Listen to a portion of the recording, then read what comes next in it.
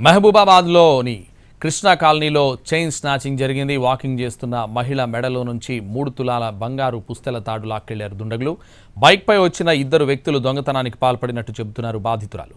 మహబూబాబాద్లో ఇటీవల వరుస దొంగతనాలు జరుగుతున్నాయి. బానోత్ వెంకటేశ్వర్లు అనే వ్యక్తి ఇంట్లో బీరువా తాళాలు పగలగొట్టి నాలుగు లక్షల డెబ్బై వేల రూపాయల నగదు ఎత్తుకెళ్ళారు దొంగలు.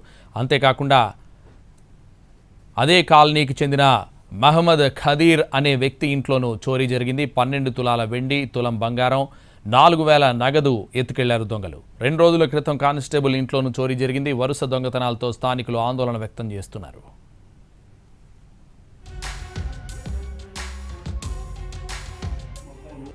అరే సలీం నేను రుద్రేని.